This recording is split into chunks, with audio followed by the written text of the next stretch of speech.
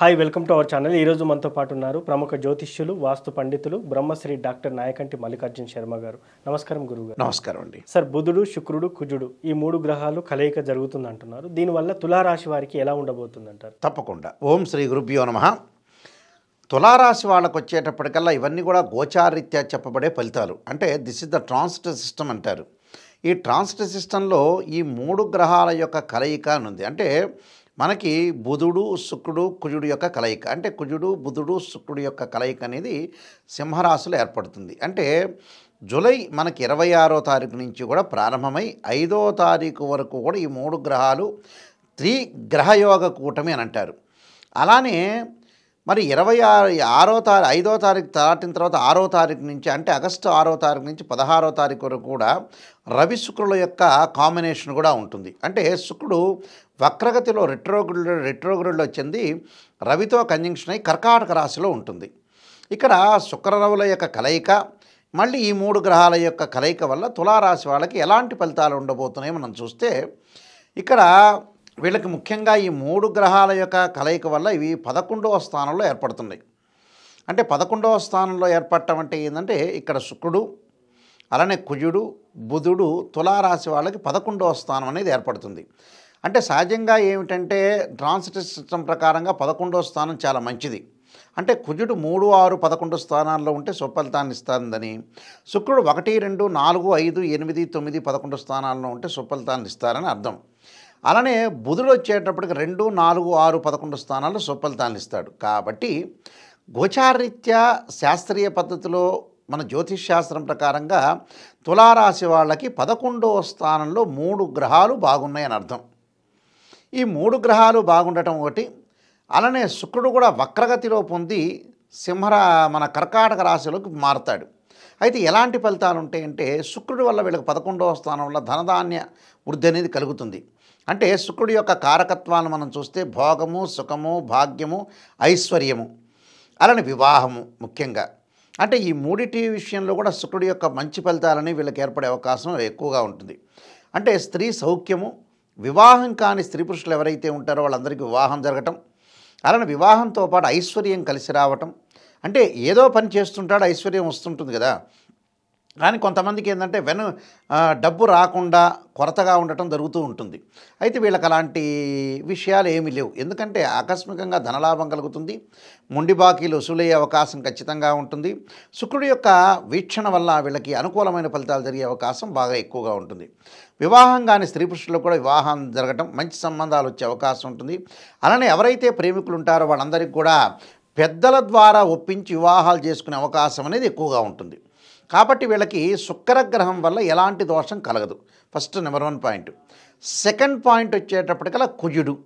కుజుడు ఏం చేస్తాడు? కుజుడు యొక్క కారకత్వం ఏంది? పదకొండవ స్థానంలో ఉన్నాడు.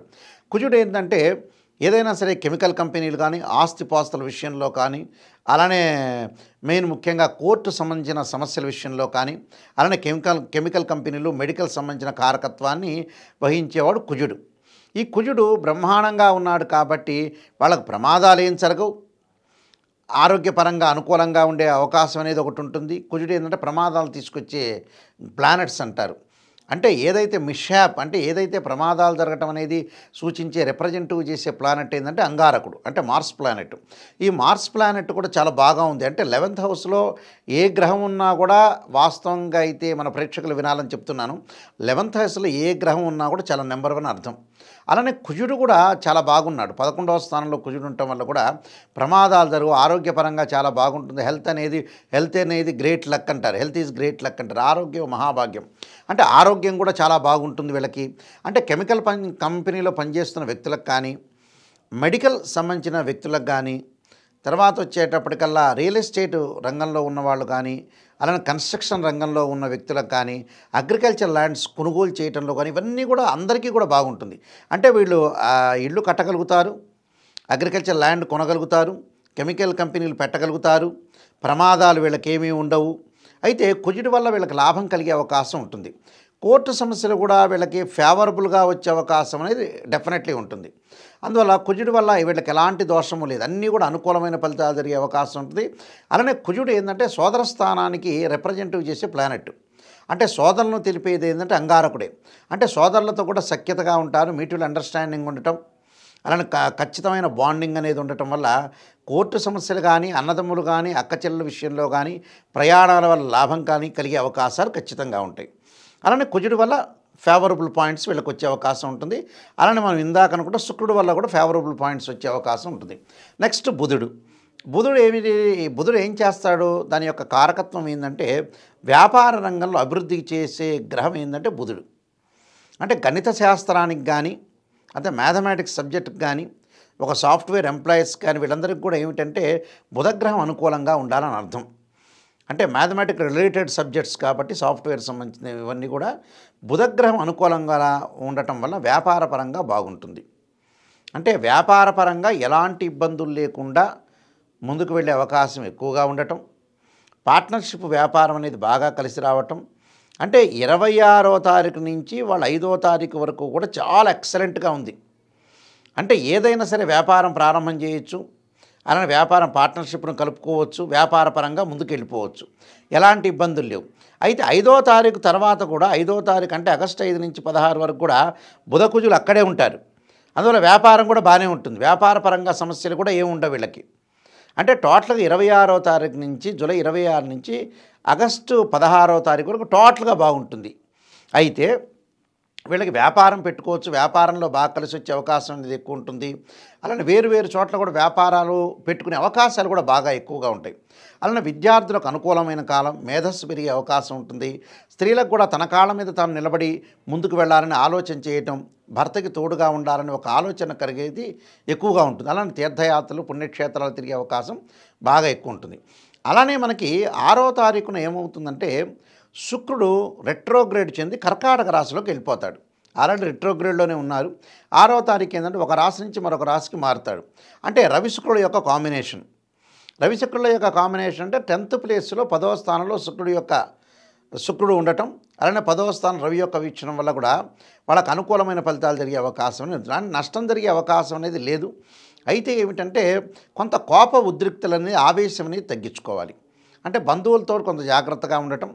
సహనంగా ప్రవర్తించే ప్రవర్తించాలి. అంటే ఎంతకీ మనం ఏ విధానాన్ని మాట్లాడుతున్నామో ఆ విధానంలో అనుసరించాలి. లిటిగేషన్స్ విషయంలో కూడా ముందుకు వెళ్ళకూడదు. అంటే అనవసరమైన కష్టాలు కానీ అనవసరమైన విషయాల్లో మనం తలదూర్చడం అనేది మంచిది కాదు. మీరు ఏదైతే వృత్తి చేస్తున్నారో ఆ వృత్తిలో దైవత్వాన్ని చూపించుకొని ముందుకు వెళ్ళాలి. అంటే ఉద్యోగ వ్యాపార రంగం వాళ్ళందరికీ కూడా అనుకూలంగా ఉంటుంది. ధనపరంగా ఎలాంటి ఇబ్బందులు లేవు. మీరు చేయాలి కష్టపడాలి ముందుకు వెళ్ళాలి భగవంతుడి యొక్క ఆరాధన చేయాలి. ప్రత్యేకంగా కొన్ని పరిహారాలు చేసుకుంటే వాళ్ళకి చాలా అనుకూలమైన ఫలితాలు జరిగే అవకాశం ఖచ్చితంగా ఉంటుంది. గురువుగారు ఎంత చేసినా కూడా కొంతమందికి అసలు పాజిటివ్ రిజల్ట్ అనేది రాదు. వాళ్ళకి ఏదైనా పరిహారాలు ఏమన్నా తప్పకుండా అండి. కొంతమంది ఏంటంటే ఈ కొంతమంది మీరు అన్నట్టుగా కొంతమంది ఎంత చేసినా రాదంటే వాళ్ళ యొక్క న్యాచురల్గా కొంత విషయాలు ఏంటంటే వాళ్ళకి ఆకలింపు లేకపోవటం అని అర్థం. దీనికి ఒక కారణం ఉంటుంది. దీనికి ఏమిటి అని అంటే కొంత దోష పరిహారంగా మనం చేసుకోవాలి. అంటే ఈ రాశి వాళ్ళు ప్రత్యేకంగా ఈ రాశి వాళ్ళు మీరున్న మీరు అనుకున్న స్థితిలో ఉన్నారనుకుందాం. అనేటప్పుడు ఏంటంటే వాళ్ళు సూర్యుడి యొక్క ఆరాధన చేయాలి. అంటే ఆదిత్య హృదయ పారాయణం చేయటం అలానే మనం సూర్యుడు సంబంధించిన భగవాను ఆరాధన చేయటం వల్ల కూడా మంచి ఫలితాలు జరిగే అవకాశం ఖచ్చితంగా ఉంటుంది. దానికి ముఖ్యంగా కారణం ఏమిటంటే ఆదిత్యాయుధే సహస్రమూర్తాయి ధీమహే తన్నో భాను ప్రచోదయాత్ అనే మంత్రాన్ని. అంటే వృత్తిరీత్యా అనుకూలంగా ఉండటానికి. అలానే ఎందుకంటే రవి అదృష్టానికి కారకుడు అవుతాడు ఇక్కడ వీళ్ళకి. అందువల్ల రవి యొక్క ఆదిత్య హృదయం పారాయణం చేయటం అలానే ప్రభాకరాయుధే దివాకరాయ ధీమే తన్నో సూర్య ప్రచోదయాత్ అనే మంత్రాన్ని. ఆదివారం రోజున ఉపవాసం ఉండి నక్తంతో ఉండి ఉపవాసం ఉండి సూర్యుడి యొక్క ఆరాధన చేయటం చాలా మంచిది.